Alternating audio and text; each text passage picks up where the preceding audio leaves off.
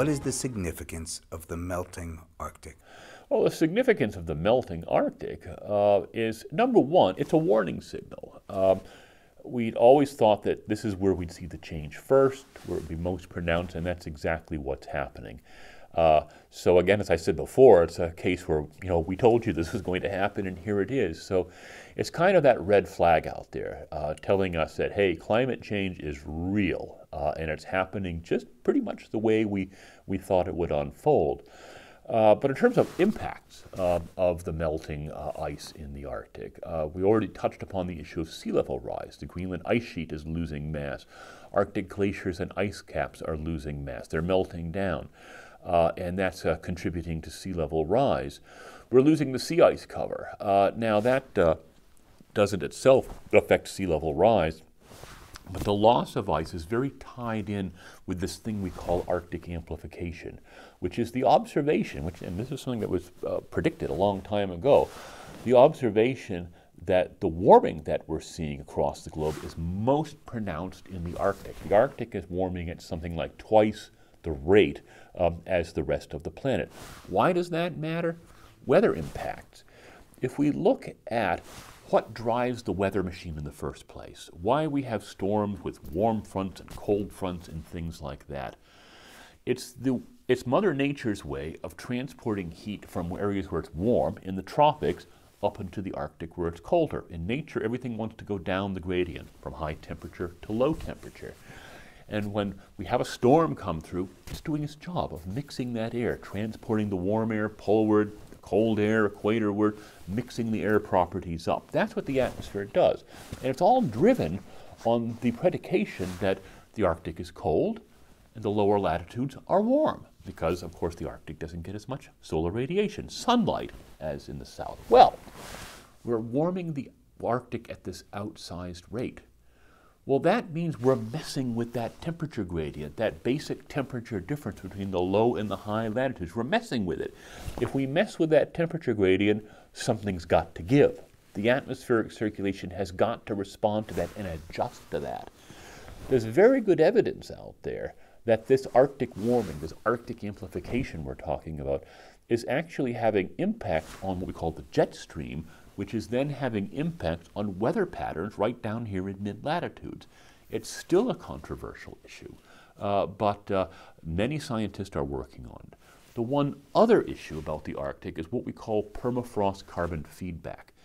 If you look across the Arctic, uh, there's uh, most of the Arctic is underlain by permafrost. The land areas are underlain by permafrost, perennially frozen ground.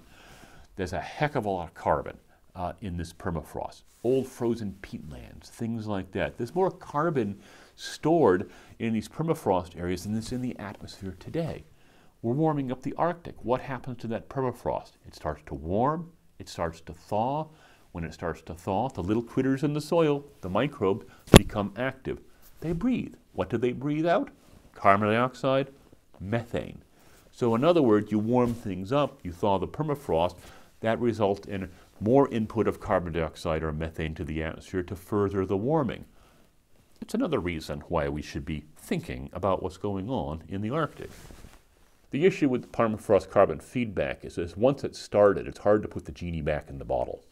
Can you expand a little bit more on the title of your, your book, yeah. Brave New Arctic? Well, Brave New Arctic, it uh, actually, I didn't choose that title. I had a different title, but the publisher chose that title. Uh, I thought it was a little Aldous Huxley-ish, right? Brave New World, okay? But uh, it does resonate a bit because it is a new Arctic and we're bravely marching forward into the future, not quite knowing where we're going to end up. Uh, but uh, again, as I said, that's what this book is all about. It's about this transformation of the Arctic, how it happened, and how scientists came together to understand this. Uh, and the pitfalls along the way, the stumbles that we made along the way. It's really a story about science and about scientists. It really tries to humanize the science. Hey, you know, scientists are people too. What were you thinking of calling it? The new Arctic Explorers. That's what I was going to call it. Uh, because we had the Arctic explorers of old, the 19th, say, and 18th century, and now we have the new generation of Arctic explorers who are the scientists who are trying to understand the changes that are unfolding in the Arctic. I thought it was a nice title, but uh, uh, the publisher, uh, we had some talks on this, and they thought that this other title would be better. So, uh, again, I thought it was a little Aldous Huxley-ish, but uh, c'est la vie. What proof do you have for people that say climate change is a natural thing? Okay, well, the issue, of course, is Earth's climate has always changed. Uh, it's, it's been changing ever since basically uh, uh, the Earth was put together. Um, but the thing about past climate change, or any climate change, is that it has a reason. Every climate change has a physical reason driving it. It's not as if Harry, Harry Potter can flick his magic wand and say climate change. It doesn't work that way all climate change is caused by something. What could be that something? Uh, in the past, uh, it has been anything from uh, variations in solar output uh, to variations in the Earth's orbit about the sun, what we call Milankovitch effects, uh, to periods of continental drift or volcanic eruptions, uh, asteroid impacts, right? Any of these can force a climate change. So climate change never just happens by itself. But of course, past climate change is what we call natural, right? It wasn't caused by humans, but it still had a cause. Now, the most recent climate change that we're seeing now over the past century or so, it absolutely has a cause because the concentration of greenhouse gases in the atmosphere is rising. And uh, we have understood how certain gases in the atmosphere absorb what we call infrared radiation, certain wavelengths of it, and re emit that radiation. We've understood this for more than a century uh, in terms of how these gases behave. I mean, this is, uh, there's all kinds of modern technologies out there that are based on these sorts of understandings. Everything from microwave ovens to uh, heat sinking missiles to what we call infrared spectroscopy. So we know what greenhouse gases in the atmosphere do. We've understood that for a long time. Well, now they're rising. Why? Why are they rising? Us. Our fingerprints are all over that in terms of, for example, what we call the isotopic composition of the carbon in the atmosphere. No doubt is us. Uh, no doubt that if we add greenhouse gases to the atmosphere, it will warm. That is the climate forcing today. All climate change has a cause we know what the cause is of this. Who is the IPCC? Uh, what have they said about climate change? And do you think they're being too conservative? Well, the IPCC is the Intergovernmental Panel on Climate Change, uh, which is a form of scientists from all over the world uh, to try and come up with these assessments of what the climate is doing and where it is going. Um, it's authored by thousands of scientists uh, from all over the world, and it's intended as sort of a consensus view. Uh, a number of what we call IPCC reports have been put out. Uh, we are now moving past the fifth to the sixth IPCC assessment. And um, my view, having been part of this process uh, through the years, it's a fairly fair consensus on what is going to happen. Certainly, one can always nitpick parts of this. Um, I think there's a, still a lot of uncertainty on what the rates of sea level rise are going to be because there's a lot about what's going on in Antarctica that we don't quite understand. Maybe conservative on that side. Uh, but I think overall, the IPCC is a very fair assessment. Sure, you can criticize parts of it, nitpick parts of it. It is a human process put together by real people and real scientists that maybe have their biases. Uh, but I think overall it's been a very, very successful uh, effort, and uh, we should not dismiss it. We should embrace it. Why are universities talking about this more and taking aggressive action? Well, why are universities uh, talking about this more? Of course, this is where a lot of the research is done. Uh, now, of course, there's uh, research in government, uh, like NOAA, for example, and NASA, for example. Uh, but a great deal of the research uh, in uh, terms of climate change is done within uh, the universities, such as my university. I'm from the University of Colorado, which is actually a national leader uh, in environmental sorts of studies, uh, climate studies. but this is just what universities do. I mean, this, these are seats of learning and understanding. we and universities work often closely with scientists in the government. We partner with each other. Uh, but uh, it's just universities, those are seats of learning. This is where a lot of this research is done. Why aren't politicians talking about this more and taking aggressive action?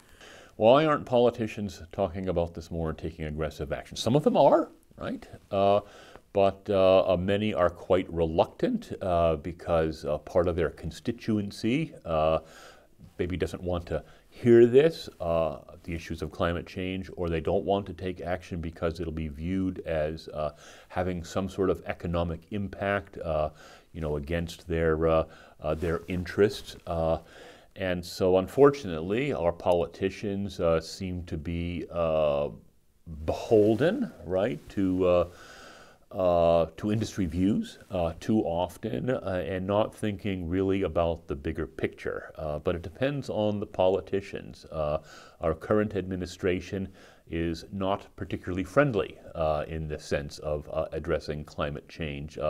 let us hope that the next one has more eager ears. Why aren't the scientists talking about this more and taking aggressive action? Why aren't the scientists talking about this more? I, uh, I don't agree with that. I think the scientists have been on the forefront of this, of getting the word out.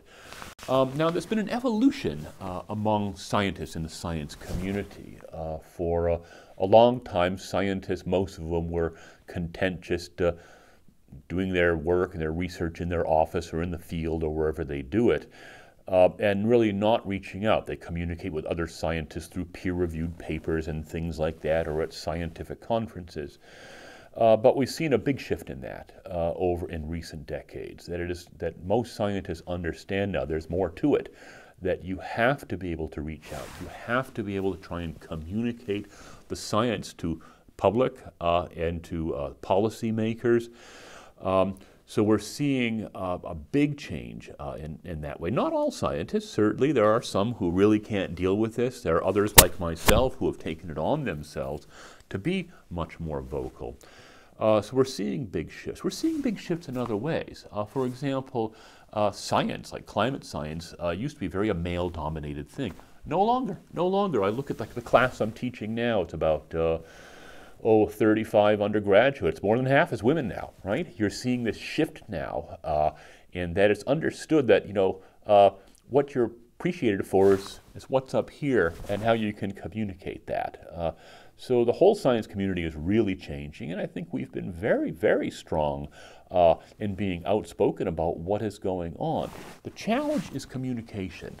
Too many scientists talk like scientists and they talk in their jargon and things like this, and it goes over people's heads. No, you've got to be able to connect at a different level. You know, why is the United States government not concerned about climate change? Yes, well, I would say that parts of the United States government are concerned with climate change. Uh, uh, our elected leaders, uh, many of them are not. Uh, when we say the United States being concerned, yeah, our armed forces, Department of Defense is all over this. The Navy is very well aware of climate change and concerned about it. As I mentioned before, why? One thing, sea level rise. Uh, naval ports are at sea level. Uh, what's happening in the Arctic we lose the sea ice cover? I've had Navy people talk to me, and one of them said, Hey, I don't even care why we're losing the sea ice, but what I see now is we have a blue ocean there, which we didn't have before. I've got to deal with it. Uh, uh the Army is very interested in this uh, because of uh, in terms of uh, changes to the landscape, uh, the operational environment that they call it. Um, so it depends on who you talk to. Uh, but uh, for example, DOD, Department of Defense, they're very, very pragmatic about this. They see what they see. Um, unfortunately, our elected officials seem to be less, uh, less receptive to, uh, to the views why isn't the EPA talking more about this and taking more aggressive action? Well, the EPA has been aggressive. Uh, however, the EPA has been muzzled uh, to a certain extent uh, by this administration. Uh, some have argued that maybe the EPA has overstepped in some areas. That's an issue for a different debate.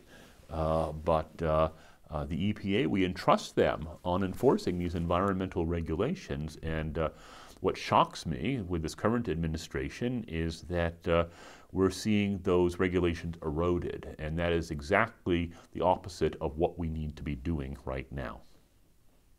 Why isn't the media talking more about this? Well, again, I, uh, why the media isn't talking more about this, I think the media is. So I think that that question is, uh, uh, the premise is incorrect.